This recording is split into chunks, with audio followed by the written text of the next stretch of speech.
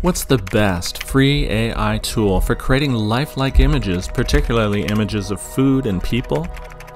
Well, we're going to compare six of the best AI image generation tools to find out.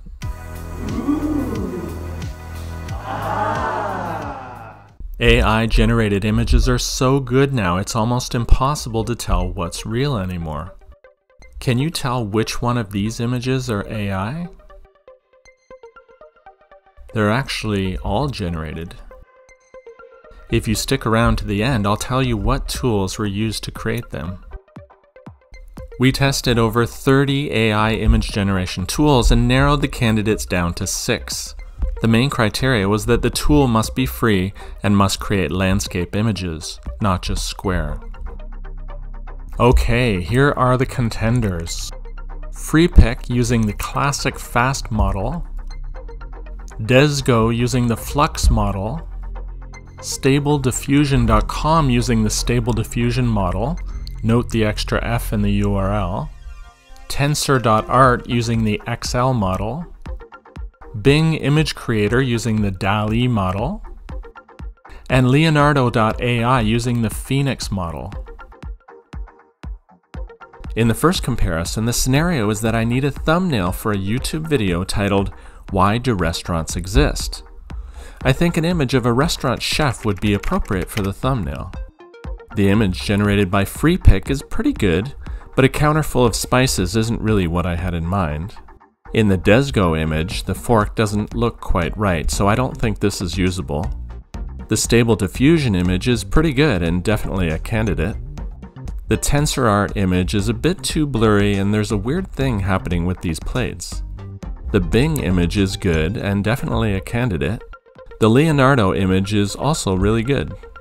I think my choice though would be the Bing image, mostly because there's a lot of food and multiple chefs indicating a large established restaurant.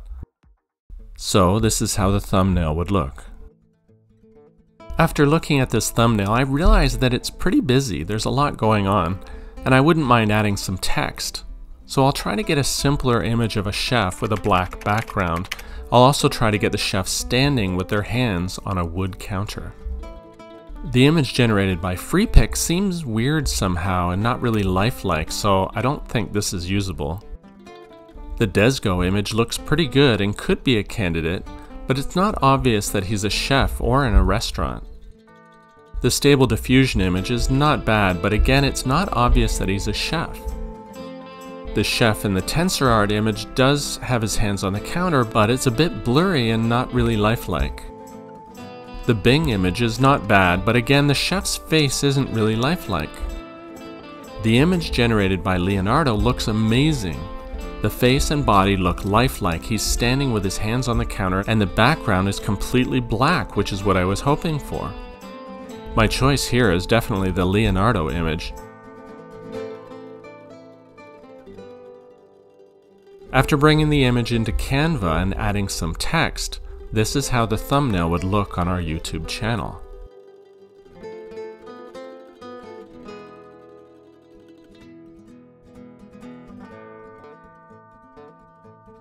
For the next comparison, I'm opening a new restaurant and I want to create an image of a hamburger for the menu. I want the menu on our website to look similar to Red Robin's.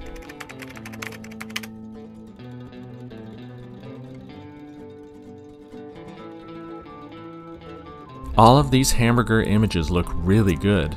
It's a tough decision, but I think I would go with the Bing image. Using the Red Robin website menu as a mock-up, here's how our burger would look.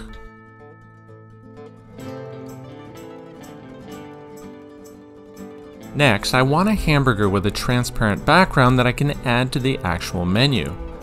Again, similar to Red Robin's. Most AI tools don't allow you to create images with a transparent background, but what you can do is specify a white background for the image and then cut it out later.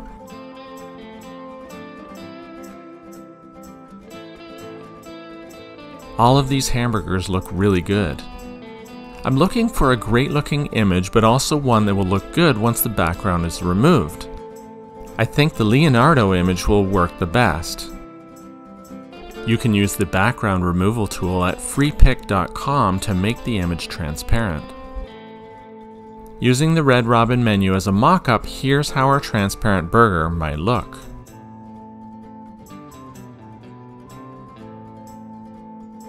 Next, let's compare how each AI handles a list of specific items. We want the image to include one tomato, three carrots, one onion, a head of lettuce, cheese slices, and a jar of mayonnaise. Even though we specified one tomato, Freepik included 20 tomatoes and didn't include the mayo, onions, or cheese. Dezgo did a better job and pretty much got everything right except maybe the head of lettuce. Stable Diffusion included an extra tomato but pretty much got everything correct. TensorArt pretty much got everything wrong. Bing wasn't too far off, although it did add some cucumbers. Leonardo did a great job, although it did include three extra carrots and didn't get the cheese slices correct. But in fairness, none of them got the cheese slices correct. Interestingly, none of the AIs got the items exactly correct. I would say that Stable Diffusion was the closest.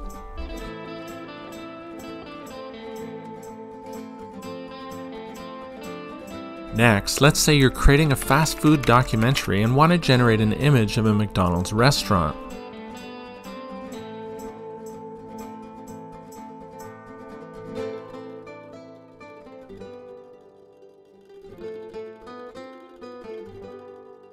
I think Leonardo would have to win this one. The cars, trees, and clouds are incredible. Next, let's see how well each AI can generate a fast food mascot like Ronald McDonald.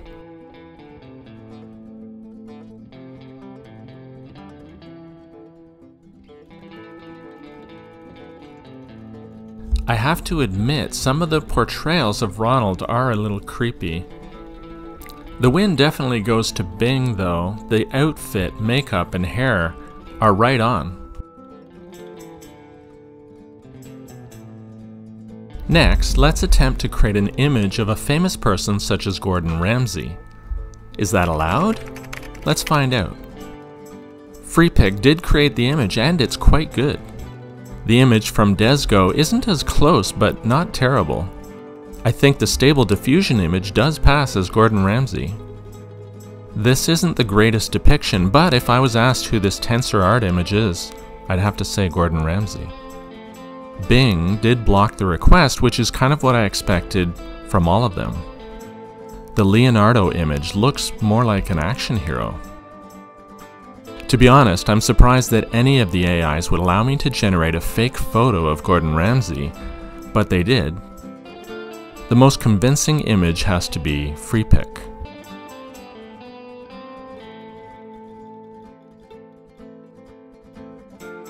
Next, for our website, I'd like to get a full body shot of a restaurant hostess holding a plate with burger and fries.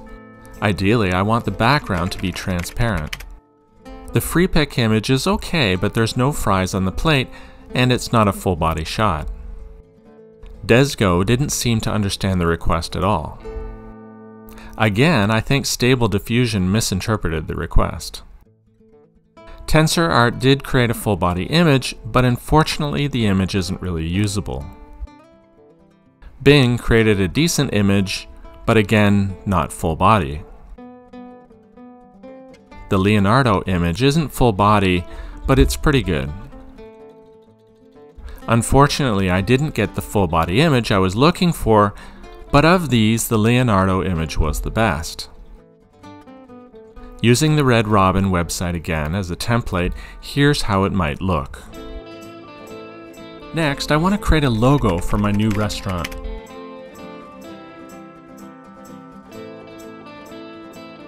The Stable Diffusion logo is probably the best, but I don't think I would actually use any of these for my logo. Let's try again. To get a better logo, let's try adding more detail to the prompt a round logo with a simple burger in the center with the text Jerry's Burgers on a white background. The results are a little better this time. Of these, I think the Leonardo logo is the best. After removing the background, here's how it might look on our website, using the Red Robin website as a template again. Next, although we don't have a company car yet, I think it would make our restaurant look more professional if we had an image of one on our website. Um, maybe if we opened the restaurant in 1961. This one is pretty good, except that the name is spelt wrong.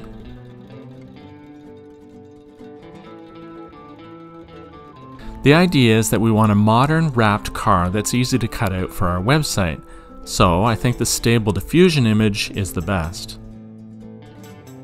Using the Red Robin website again, here's how it might look.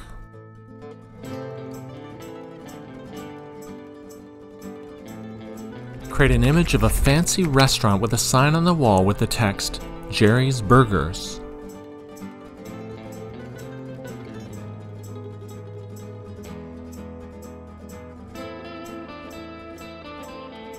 I think Stable Diffusion wins this one.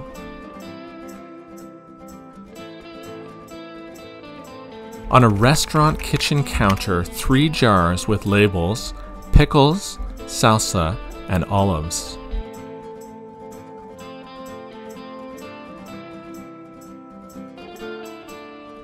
The fact that most of the labels were spelled correctly is pretty impressive.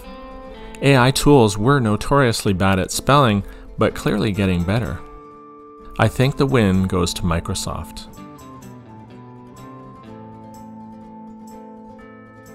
A female McDonald's employee behind a counter serving a Big Mac, fries, and a Coke.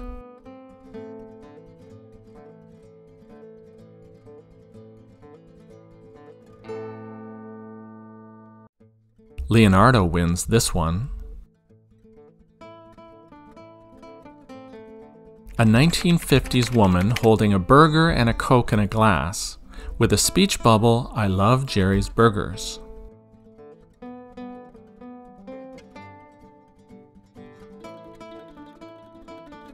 Although not lifelike, I would most likely use the Leonardo image.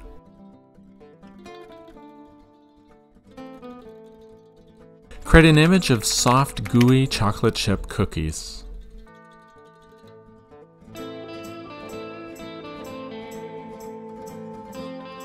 This is a tough decision, but I think I have to go with the stable diffusion image. Create an image of chocolate fudge brownies covered with chocolate sauce. Include nuts and a raspberry on top, with a white background.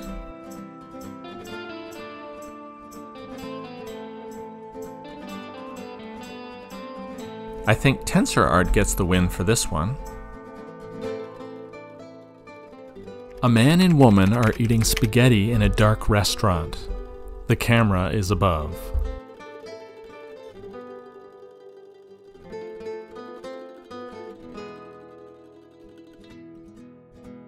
Microsoft created the best image here.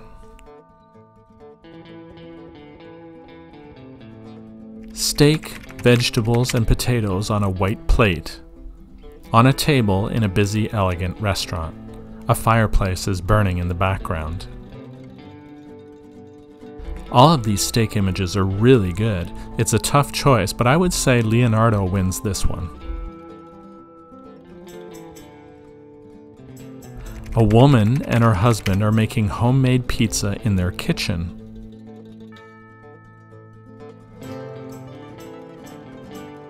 I would most likely use the Leonardo image.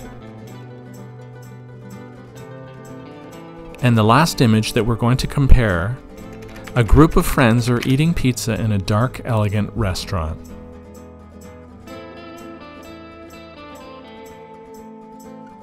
I think Microsoft Bing wins this one.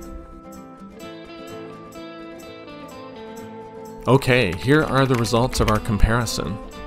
Freepik 1, Dezgo 0, Stable Diffusion 5, TensorArt 1, Bing 6, and Leonardo.ai 9. Leonardo.ai is the clear winner, although Microsoft Bing and Stable Diffusion did very well too, both of which are completely free. Stable Diffusion doesn't even require a login. The free version of Leonardo creates incredible images at a decent resolution, but if you do need more images at a higher resolution, you might consider the paid version. It's $12 a month and can be cancelled at any time. You get a lot more images, even higher quality, and about 4K resolution. At the beginning of this video, I said I would share what was used to create these images. The center image was created with Stable Diffusion, and the others Leonardo.ai.